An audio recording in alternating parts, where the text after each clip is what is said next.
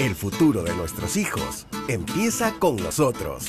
Por eso el gobierno del Perú se une a tu esfuerzo y junto a tres ministerios asegurarán para nuestros niños un buen inicio del año escolar.